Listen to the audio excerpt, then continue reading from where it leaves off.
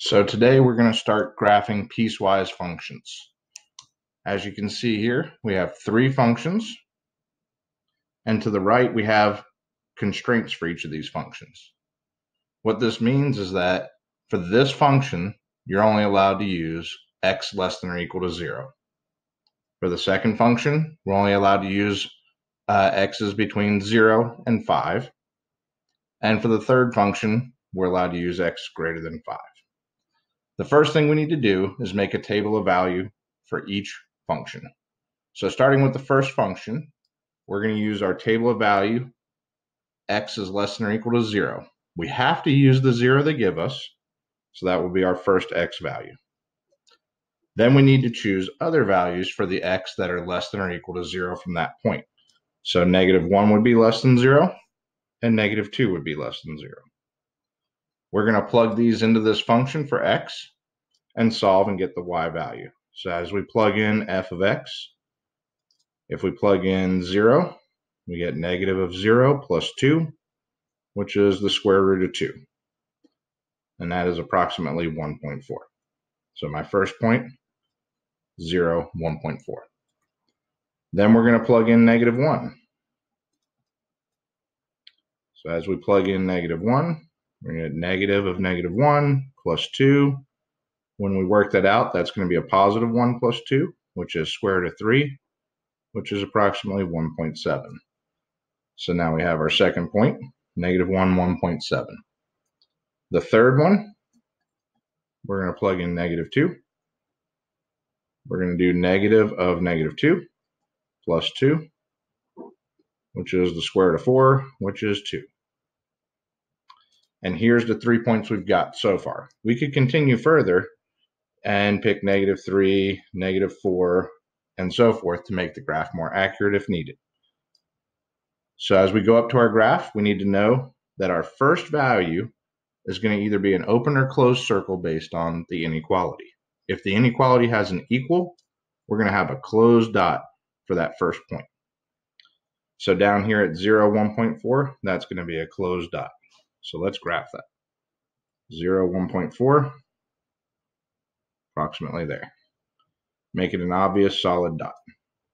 Then all the rest of these are just going to be points on the graph like normal. Negative 1, 1.7 will be approximately here. Negative 2, 2 would be here. And we're going to draw our graph. Since it doesn't have two ends to it, we're going to graph from the point we started at and draw the picture. The picture is going to be a slight hook to the left because it is the square root function. Now we're going to move on to our second graph.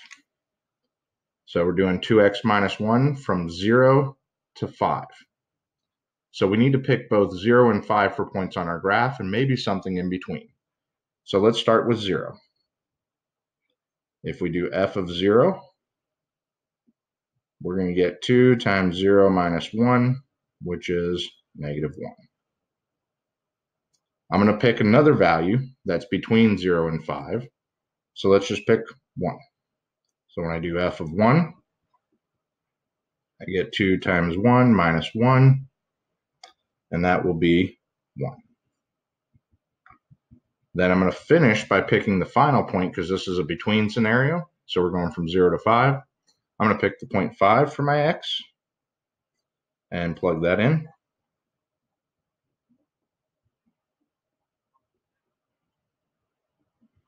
This will give me 10 minus 1, which is 9. So the 0.5, 9 is going to be right here.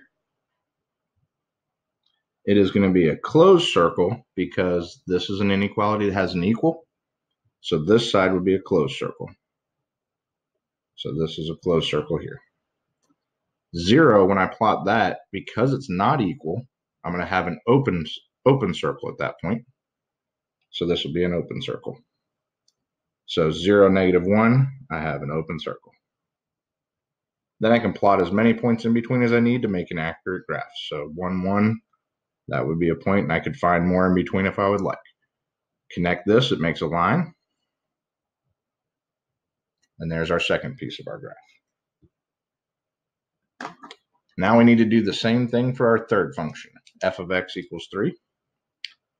It is for values where x is greater than 5, but no matter what, again, we're going to use this 5 value and figure out what our answer is. So we start our, table at 5, and we pick numbers greater than 5, 6, 7, however many we need. When we plug this into this function, there's nowhere to put the x in. So when I do f of 5, or f of any number, I literally get 3 for all my answers. So my point would be 5, 3. When I do f of 6, I get 6, 3. When I do f of 7, I get 7, 3. The first point, because this is an inequality without an equal, is going to be an open circle. Therefore, 5, 3 is an open circle, and it's going to continue in whatever direction, however far this is going. So 5, 3, open circle, 6, 3 regular point, 7, 3 regular point, and it continues to the right forever, just like its an inequality. So that's the graphing portion. If we want to do the evaluate portion, which is right here,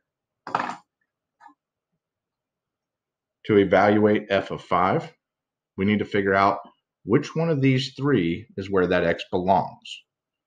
So we need to decide is 5 less than or equal to 0, which is no. Is 5 between 0 and 5 and including, meaning equal to 5? Yes. Is 5 greater than 5? No. So this is going to go into this equation here. So we do 2 times 5 minus 1, which is 9. And that would be our answer. We do the same thing for f of 0. We have to decide which one of these three it belongs in first to be able to decide which one of these equations to plug it in next. So since 0 is less than or equal to 0 is true, we should be plugging into this first equation. It doesn't work in the second one because it's not equal to 0. It's less. It's uh, 0 is less than x, or read backwards, x is greater than 0. So 0 doesn't work there, and 0 is not greater than 5, so we're going to use this first equation. We plug it in. Negative of 0 plus 2, square root of 2, which is 1.4.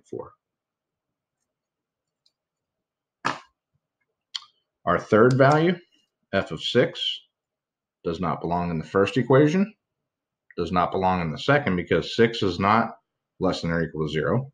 6 is not between 0 and 5. 6 is greater than 5.